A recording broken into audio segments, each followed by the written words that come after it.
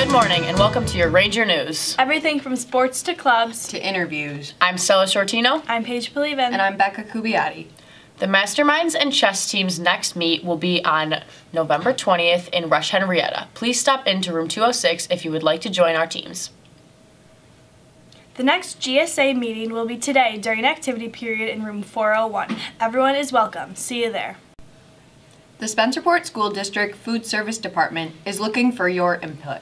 The department is considering changes to the menus and products served in the cafeteria. They have prepared surveys for students to complete to have your voices heard.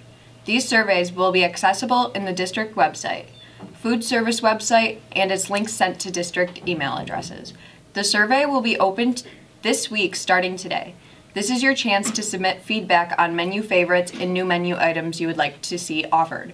There will be announcements next week to complete the survey during advisement. All students are welcome to enter one art piece to the Spencerport Lions Club Winter Art Contest. You don't have to be an art student to enter. Prizes will be awarded for the best work and displayed at the Ogden Farmers Public Library. All entries must be in by January 31st, 2020. See Ms. Prusik for details and an application. Attention football players. Off-season workouts start today and will be after school in the fitness center Monday, Wednesday, and Friday. All football players not involved in a sport need to be there. Attention DECA club members. There's a meeting after school today in room 129. Any questions, please speak to Mr. Canali. Now over to Jeremy with the weather.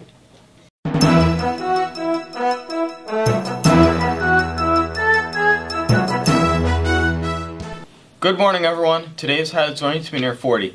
Cloudy skies today with no precipitation expected. The low temperature will just hit freezing at 32 degrees. Tomorrow you can expect basically the same with cloudy skies, no precipitation, and a high of 40 and a low of 32. The rest of the week will bring temperatures in the lower and perhaps middle 40s with rain expected late week. Thanks to these warmer temperatures, a white Thanksgiving is highly unlikely at this time. Thanks everyone, and don't forget about my contest and have a weathertastic day. And now, back to the ladies at the news desk. Thank you. So much. Jeremy. And enter his contest. And that's all for today, Rangers. Stay tuned for tomorrow's Ranger News. And remember, there's always something to be thankful for.